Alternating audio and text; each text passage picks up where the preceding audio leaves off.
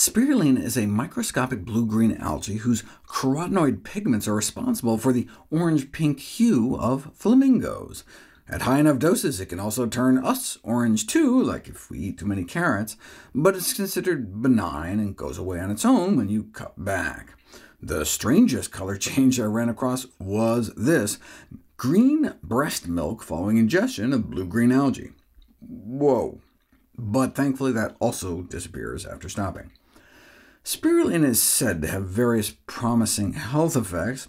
At the same time, on the contrasting note, there are toxins that might contribute to acute poisoning, cancer, liver damage, and gastrointestinal disturbances, with long-term consumption potentially leading to Alzheimer's and Parkinson's disease.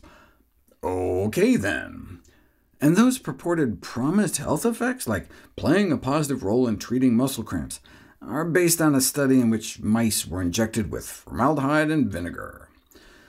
What can spirulina actually do in people?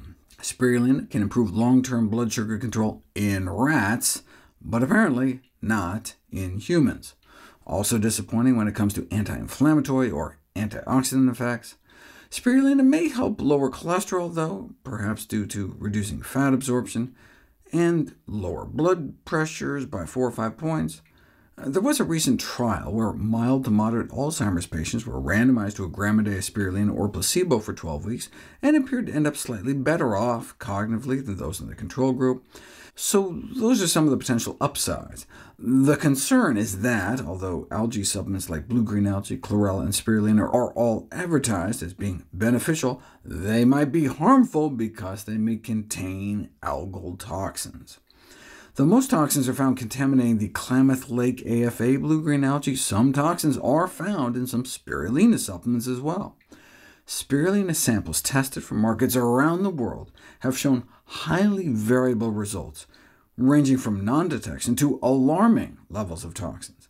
The presence of toxin-producing algae contaminants is the most likely explanation for the presence of toxins in spirulina products, because producers cultivate spirulina in open outdoor ponds, which are vulnerable to contamination with toxin-producing species. There have been calls for strict quality control and monitoring, but that doesn't seem to have panned out. This study examined what was growing in five commercial spirulina products, including pills and powders. Several potentially pathogenic bacteria were detected in the products, and algae toxins were found in all of the products at levels that could lead to consumers exceeding the recommended daily limits.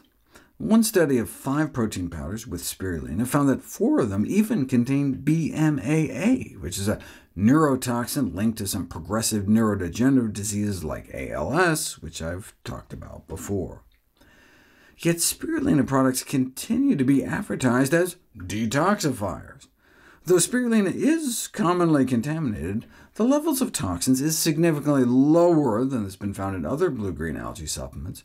Nevertheless, there's a concern that long-term exposure to even very low levels of these toxins may increase the risk of liver cancer, for example. There are also case reports of acute liver damage, tentatively tied to spirulina intake as well as acute muscle damage and rare autoimmune reactions to spirulina, AFA blue-green algae, or both, including blistering disorders too disturbing to display.